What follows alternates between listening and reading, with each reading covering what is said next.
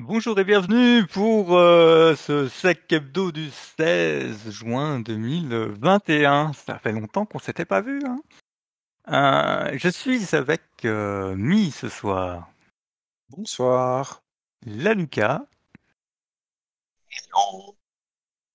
et Galadrim. Bonsoir. Alors, au programme de ce soir, euh, un petit point de situation sur notre absence prolongée et changement en cours euh, au comptoir. Parce que il y a la réouverture des bars, mais on a un peu raté le, coche. Hum, après, on va parler de euh, DebsDev, d'un arrêt euh, de l'arrêt FDN sur la partie rétention de log, du EA Act on Leaks, d'Ethereum, de Windows, du CERT EU, euh, de Rockview, et puis on vous garde une petite euh, surprise euh, sur la fin. Et si je retrouve le générique, on peut ouvrir le comptoir. C'est C'est parti. génial.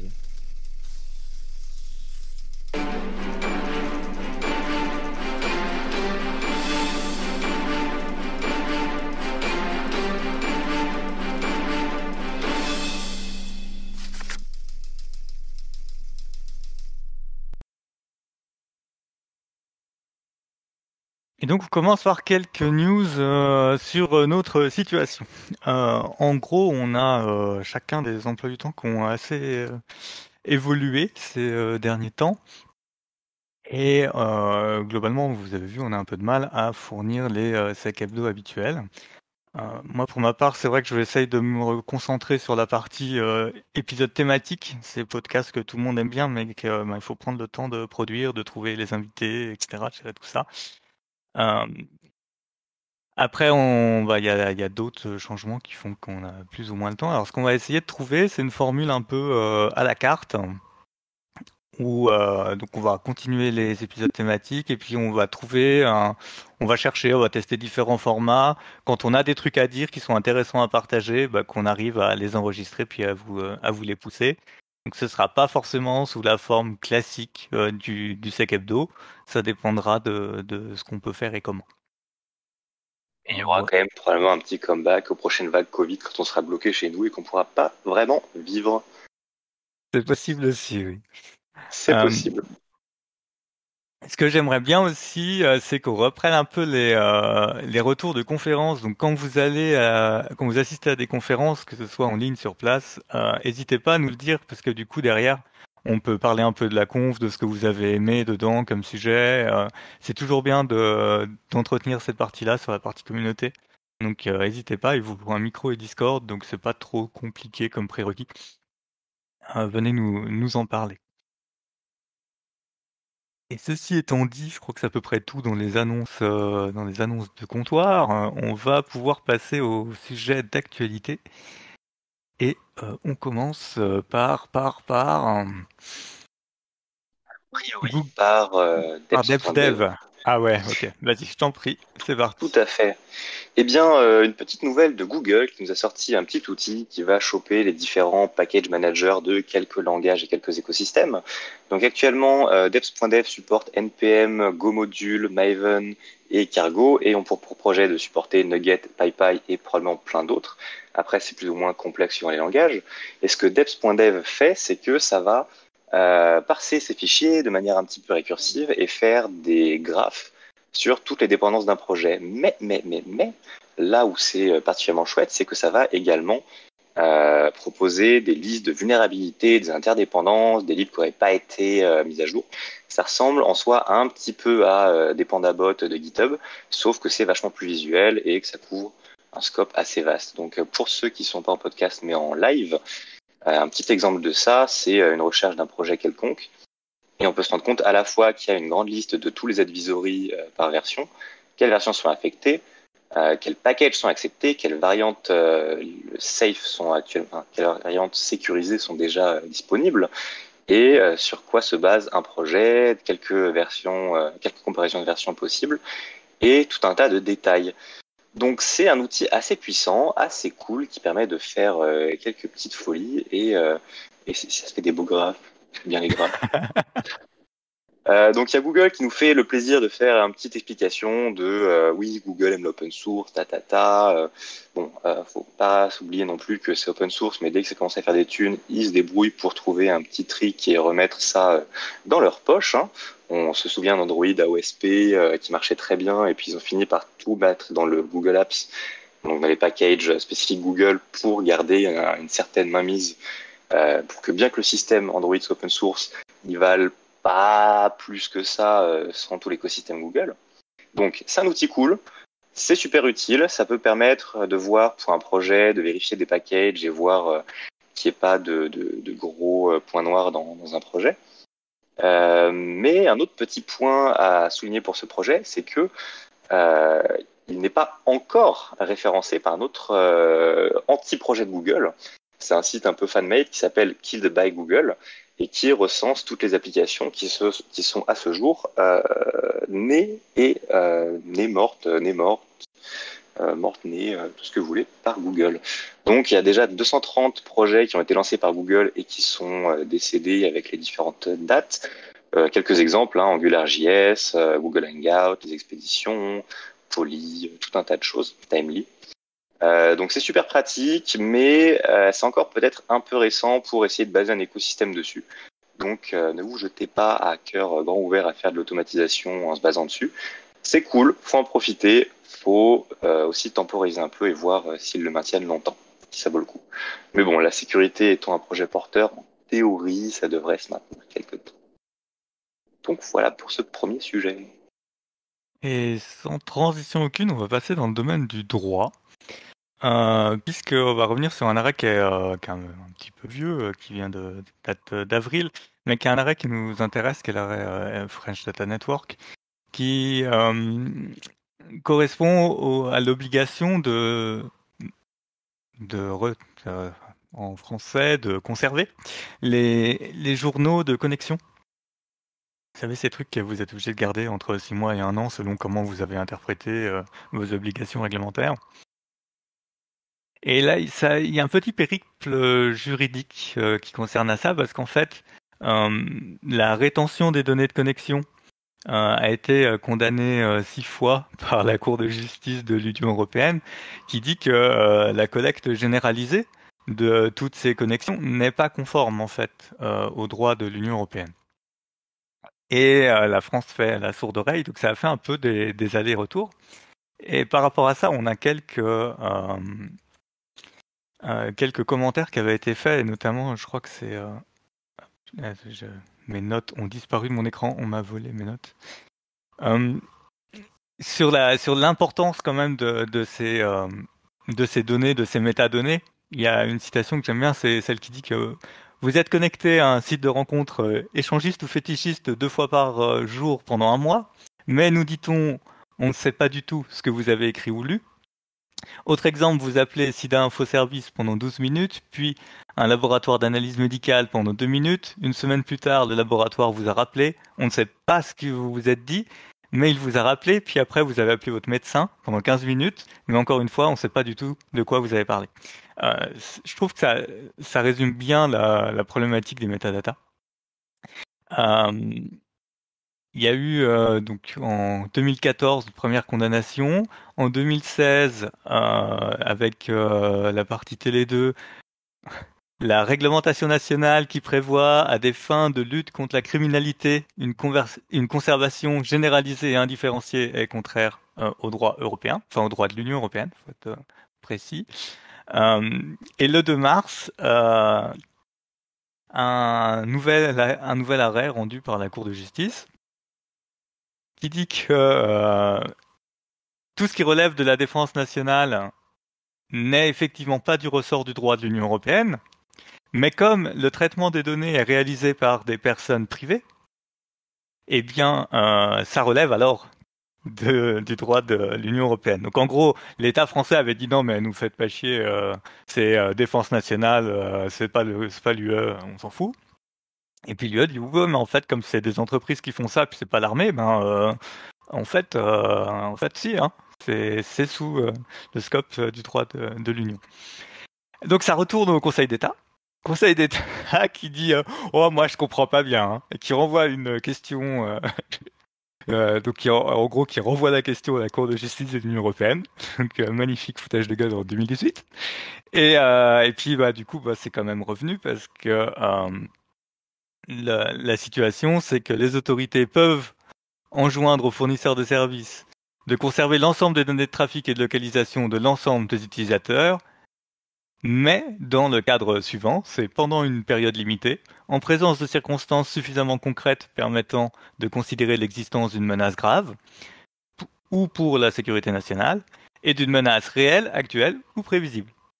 Et donc, armé de cette interprétation de la Cour de justice de l'Union européenne, le Conseil d'État va rendre un, arrêt euh, où, en gros, il va faire hmm, c'est bien embêtant, faut qu'on change les lois, alors, euh, bon, bah, on va corriger les lois, et puis en attendant, on va continuer. Cela dit, dans ces conclusions, il y a une chose qui est vraiment importante, c'est que jusqu'à présent, toute mise sur écoute, c'était une consultation facultative de la Commission nationale, euh, la CNCTR, c'est quoi de Commission nationale des techniques de renseignement. Voilà. Merci. Euh, et en fait, la commission pouvait décider de bloquer, mais en gros, c'était un avis, euh, c'était un avis qui était euh, simple, on va dire. Et maintenant, euh, il faudrait que ce soit un avis conforme, c'est-à-dire qu'on ne pourrait pas commencer le, la mise sur écoute tant qu'il n'y aurait pas eu approbation, en fait. Tout simplement parce qu'il y a un problème de gestion, de répartition entre le pouvoir exécutif et le pouvoir judiciaire, et on, reproche souvent à la France son parquet qui est un pouvoir exécutif et non réellement judiciaire. Euh, du coup, le Conseil d'État fait bon, bon, bon, on va, euh, on va voir, euh, mais ça marche à peu près. Euh, donc, on aura une révision des lois françaises, une mise à, une mise à, jour de tout ça et on verra justement, ce sera à suivre, est-ce que euh, la CNCTR va euh, devenir un contrôle a priori et euh, obligatoire dans les mises sur écoute ou pas? Et donc après il y a enfin il y a plein d'autres problèmes, c'est que si on fait pas cette collecte permanente quand on déclenche une enquête, comment on va faire une collecte? Comment on va savoir qui on cible comment on va réussir à trouver la bonne IP à surveiller avec euh, la complexité des infrastructures aujourd'hui. Donc euh, ça, ouais, c'est un sujet judiciairement euh, assez clair, mais techniquement, je ne sais pas comment ils vont s'en sortir pour, mettre à jour ces lois-là.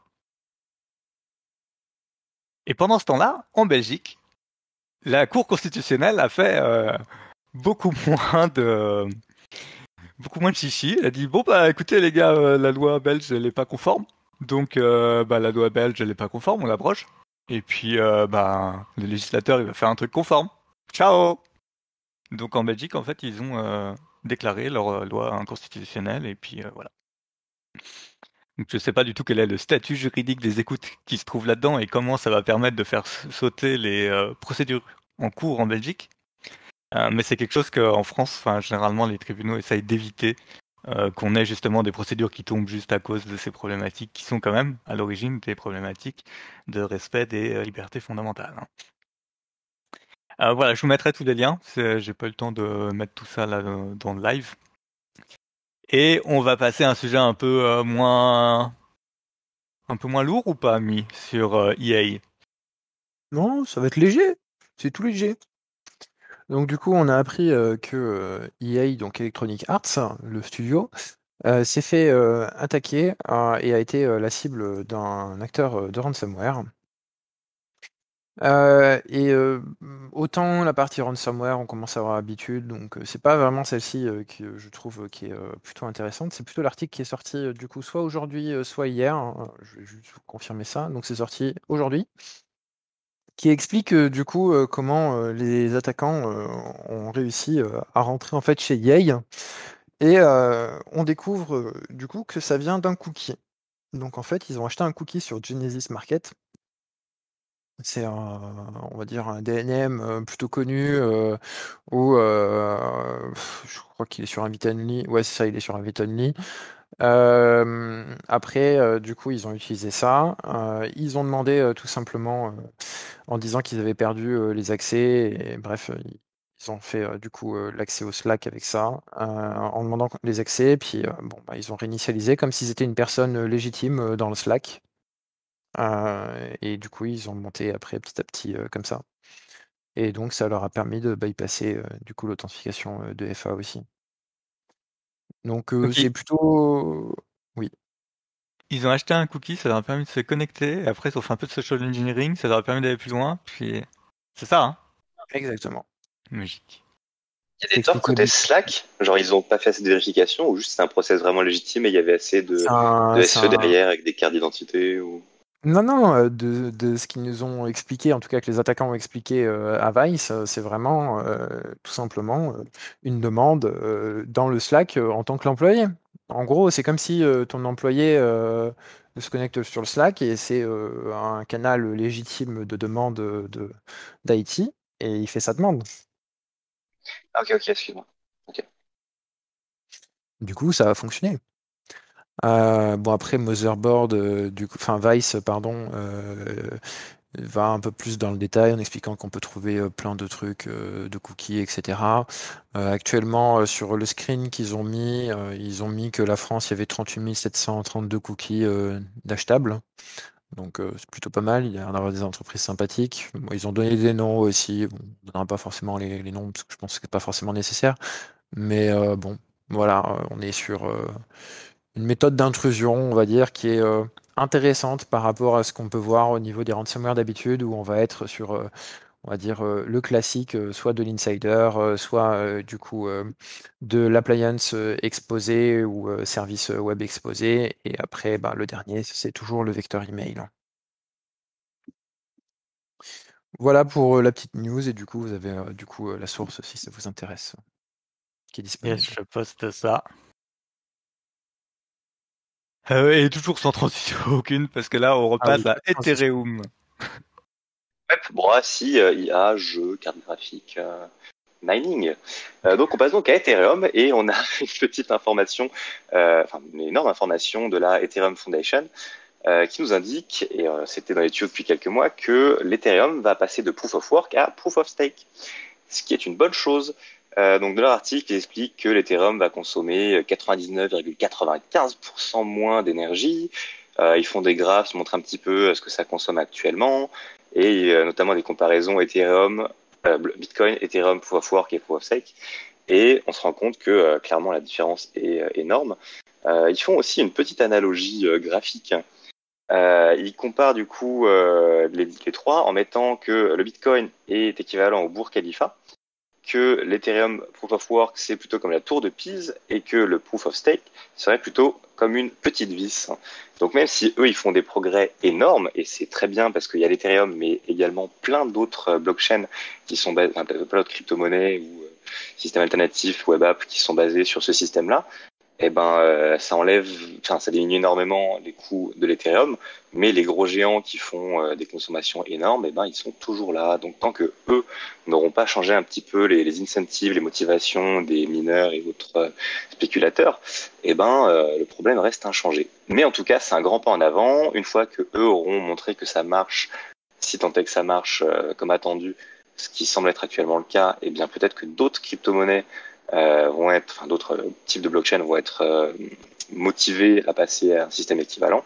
Et ce sera un grand pas en avant, aussi bien pour euh, les gamers, les cartes graphiques, la pénurie de composants et le climat. Donc c'est assez chouette de voir que ça avance de ce côté-là.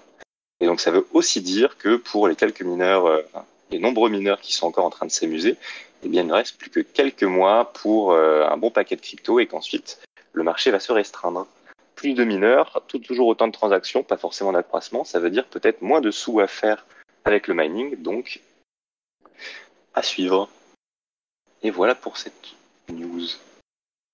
Yes. Et voilà. Et après, du coup, euh, Windows euh, 11. Euh, oui, tout à fait, grosse transition. Euh, Windows 11, euh, Windows 11, on part sur un sur un thread de Krabs on Security qui nous explique en fait, il a pris euh, le leak de Windows 11 qui arrivé récemment Et il s'est dit, ouais, Windows 11, mais est-ce que virus, pas virus? Est-ce que euh, vrai Windows 11 Est-ce que c'est légitime? Est-ce que c'est pas des petits malins qui ont juste mis deux trois features et bidouillé l'OS Et donc, euh, ben bon, bah, on manque encore de recul pour le dire. En tout cas, c'est un petit build marrant. Il n'y a pas de fonctionnalité. On sent que c'est un, un Windows 10 sous stéroïde, mais le, le thread est vraiment intéressant parce qu'il allait creuser un petit peu dans les internals, dans les DLL, dans les différentes euh, clés de registre. Et euh, il montre bien comment est-ce que c'est fait euh, à l'intérieur, quels sont les différents timestamps, euh, les différentes dates de modification des fichiers pour les builds, donc pour l'ISO qui a fuité. Et on se rend compte qu'en fait, le 11, soit c'est Microsoft qui s'est un peu foiré et, euh, tout le, les, toutes les conventions de nommage à l'intérieur sont restées en 10 points quelque chose, soit c'est ceux qui ont fait le leak, qui ont trouvé un 10 sous stéroïde et qui ont dit ouais ouais euh, c'est le 11, t'inquiète, ça a fuité, euh, crois-nous. Ouais. Donc le thread est assez intéressant, il y a pas mal d'outils, il y a un petit peu de reverse, il y a, il y a des screenshots. C'est intéressant, on mettra le lien dans le site également. Et le build, euh, quand on regarde la version du build, c'est un 10 quelque chose en 900, je crois que c'est un build 900. Et euh, on a des gens qui ont été regarder aussi un peu la partie euh, forensic artefact. Tous les artefacts euh, normaux du 10 sont présents. Euh, je crois que j'ai vu aussi euh, partie euh, qui disait oh, ça marche pareil, même driver, même même absence de d'enforcement de la signature. Donc c'est Là, c'est voilà, on va attendre que ça se tasse. Quoi. Euh, 11, 10, euh, ouais, 11, 10, euh, CRTU, euh, 10 ans d'existence. Alors oui, oui, mais on n'a pas entendu du coup ce que j'ai dit juste avant, j'avais le micro coupé. Ah bah, bah. je disais, je sais pas si vous avez vu la correction qu'il a apportée à son trade, du coup, une heure après avoir fait le trade original, en disant que du coup, ils étaient bien signés et que pour lui, c'était du coup des signatures légitimes. Ouais, ça peut être un ISO ou un build légitime voilà. qui a fuité, mais après, ça dit toujours pas grand-chose sur les conventions de nommage. Ah non, mais ça après, il va falloir attendre un peu l'événement de Microsoft. On, on, si, si j'étais un peu médisant, je dirais qu'ils pratiquent le test pour voir si les gens sont chauds ou pas, tu vois. Ouais. Je pense que ce serait euh, théorie du complot euh, prélite par Microsoft pour voir si les gens ont envie de passer? Non, non, ouais, avec, euh, avec Windows 10 qui fonctionne sur Windows 11 aussi. pas, pas de théorie du complot, mais en tout cas, euh, potentiellement euh, un fail ou un truc comme ça. Après, euh, bon, ça n'a pas leaké non plus énormément avant, avant l'événement, quoi. Donc, ouais, c'est ça. Bah, juste une semaine pour faire soit une pré-hype, soit que les gens voient que c'est déjà là et que du coup ça noie un peu la, la, la release note finale. Exactement. Faut voir. Franchement, il faudra voir euh, comment ça se déroule par la suite. On verra bien. En tout cas, euh, ça n'a pas l'air d'avoir beaucoup bougé, en tout cas, de ce que j'ai pu voir euh, du trade et euh, des analyses. Comme disait Jill, les artefacts, ils n'ont pas bougé non plus. Donc, bon, ça va pas changer grand chose à part l'apparence, a priori, qui est peut-être un peu plus moderne et qui m'a fait un peu penser à Mac, mais voilà. Après, il y a quand même un super point positif, c'est que maintenant, quand tu survoles euh, le grand carré pour mettre ta fenêtre en plein écran ou euh, moitié d'écran, eh ben, ça te met un petit, une petite pop-up pour dire où est-ce que tu veux la mettre en mode angle droit, en, angle haut à droite, ou angle en bas à droite, ou un seul côté. Ce qui veut dire qu'on n'aura plus besoin de l'expliquer à nos mamans. Et ça, c'est chouette. c'est pas faux. J'avais pas vu cet aspect, effectivement, mais effectivement, c'est un grand aspect. Et puis quand on leur demandera de fermer la fenêtre, ils fermeront pas celle du salon. Un jour. Euh, du coup, on revient sur les 10 ans du CRTU parce que c'est quand même une bonne nouvelle, ça aussi. Euh, donc, du coup, le CRTU, euh, c'est le CERT pour les organisations européennes. alors, exactement, par organisation, ils ont une définition un peu particulière au niveau du CERT. Donc, je laisserai la regarder. Donc, si je me trompe pas, ils il mentionnent EU IBA pour European Union Institution, Body and Agency. Donc c'est leur client au CERT en tout cas, enfin leur, leur périmètre, on va dire ça comme ça. Donc ils ont 10 ans du coup au mois de juin cette année. Et pour les 10 ans, à ma connaissance, c'est le premier rapport. Ils écrivent volume 1 aussi, donc peut-être que je me trompe, mais je vais assumer que c'est la première fois qu'ils sortent un Trade Landscape Report.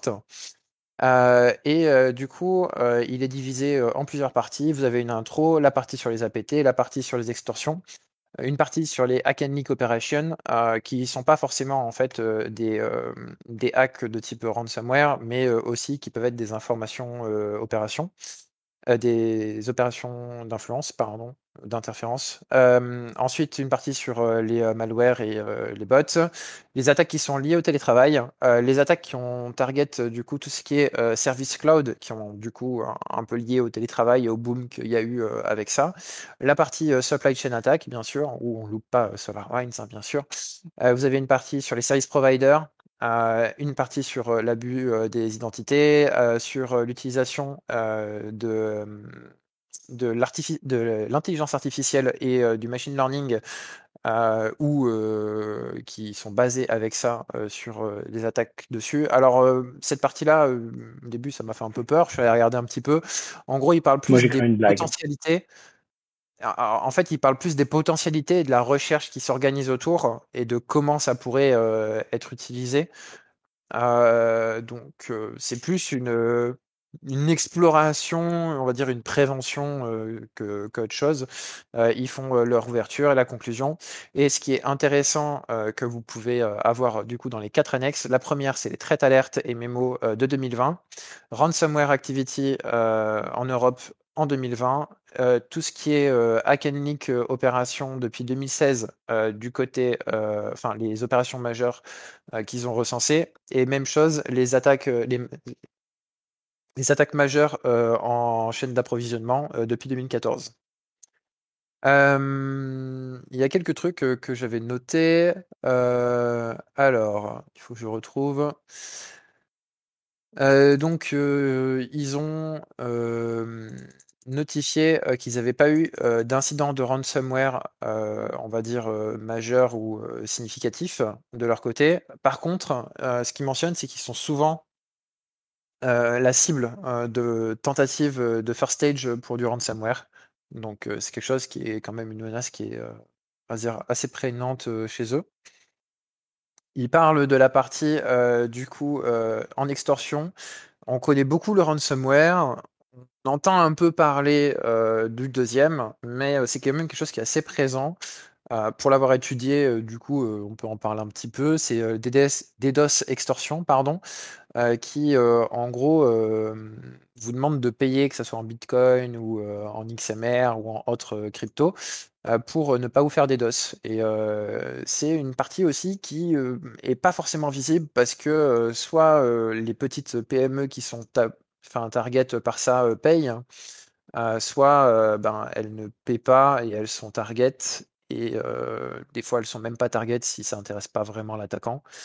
Et les grosses cibles, oui, il y a eu des incidents qui ont été très visibles et où publiquement ça n'a pas été reconnu que ça venait d'une attaque par extorsion de type DDoS et pas forcément une attaque par ransomware comme ça peut être report dans certains médias. Ensuite, on a la partie, enfin moi j'ai trouvé intéressante sur la partie des malwares et des bots. Donc ce qu'ils ont vu. Donc il y a eu 10 attaques émotettes qui ont affecté les EIBA en Q20, Q1 2020. On en a eu 2 en Q2, on en a eu 21 en Q3. Donc on voit la grosse pause des. Hein. Là, on la voit bien, qui est, bien significative. Et du coup, en 2020, en Q4, on en a 19, donc ça s'est maintenu. Et donc, globalement, ils ont surveillé Agent Tesla, Lokibot, Cutveil, Sunburst. Bon, là, du coup, c'est la partie qu'on connaît tous hein, pour l'attaque de SolarWinds. ils ont aussi, du coup, en surveillance Guloder, les Cobalt Strike. Alors, je ne sais pas trop ce qu'ils veulent dire par Cobalt Strike, puisque du coup, ça peut être utilisé dans d'autres dans d'autres attaques, enfin dans d'autres on dire, groupes. Euh, ensuite, on a la partie euh, du coup euh, Ashworm, Azorult et Trickbot finalement.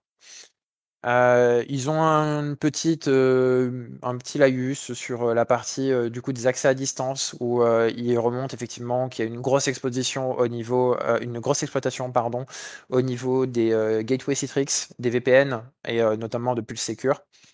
Euh, ils ont euh, aussi euh, expliqué que l'utilisation des, applications de collaboration ont été très, très, très fortes. Et puis après, ils reviennent aussi sur Zoom et son avancée technologique en termes de sécurité. et après, voilà. aussi, il y a la partie où, où il y a eu du troll, donc en 2020, où il y a un journaliste qui s'est, comment dire, incrusté dans une réunion des ministres de la Défense européens en ayant juste à guess du coup le, le, code, puisqu'il y avait, si je ne me trompe pas, ils avaient affiché le, le, pin de la, de la conf. Donc il a juste eu à guess de 0 à 9. Euh, et après, il y a pas mal de choses, notamment euh, dans la partie. Euh, moi, j'ai bien apprécié la visualisation qu'ils ont fait sur l'annexe numéro 1. donc, on voit que les groupes d'attaque APT sont quand même majoritairement le sujet de leur mémo. Ensuite, on a l'extorsion et après, on a les malware et bots. Et après, on a la partie remote. La partie remote qui fait quand même une entrée très très fracassante dans, dans ce, dans ce top. Euh, après, euh, sur euh, la partie qu'ils ont derrière sur les ransomware, donc on voit que pour eux, Egregor a beaucoup, beaucoup target du coup la partie européenne. Ensuite, suivi de Netwalker, de Doppel Paymer et de Reveal. donc, à voir un petit peu aussi ça. Et puis après, vous avez tous les attaques majeures. Donc, ils font je pense que ça peut être utile pour les gens qui veulent avoir un peu de background sur certaines analyses qui sont disponibles, notamment tout ce qui est un peu histoire sur les Hakenikop. Voilà. Et puis, bah, du coup, à titre personnel et peut-être au titre aussi du comptoir Sécu, on leur souhaite encore 10 ans de plus. Hein. Ouais, carrément, ouais.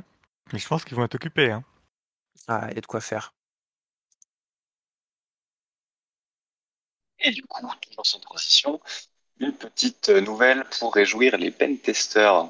La sortie du nouveau DICO RockU 2021, donc RockU qui RockU.txt qui était l'un des gros dictionnaires euh, les plus utilisés ou en tout cas les plus optimisés euh, pendant un bon moment pour euh, casser des word lists principalement, enfin pour casser des hashes de mots de passe principalement en anglais, euh, avec la variante Richelieu qui est plutôt spécifique au français. Et donc là, RockU 2021 est un gros gros une grosse compile de pas mal de DB, de pas mal de, enfin également l'ancien RockU et euh, récupérable assez facilement. Euh, ça fait quand même 90 gigas une fois décompressé, donc c'est assez chouette. Ça permet de faire des tests en offline, mais faut un certain temps pour pouvoir la tester. En particulier avec des règles de modification pour optimiser les chances de, faire tomber des haches de mots de passe. Donc voilà, on pose ça là, c'est chouette, c'est un bon outil. Voilà. Juste à mettre à jour. Et puis à espérer qu'on puisse retrouver euh, des cartes graphiques sur le marché. Et pour finir, on a une découverte de la semaine. Oui, alors euh, pour tous ceux qui travaillent côté euh, côté Blue Team, vous devez sûrement connaître la matrice attaque. vous savez cette espèce d'énorme keychain avec 14 colonnes où on a à peu près toutes les techniques possibles et imaginables de mouvement latéral, etc., etc.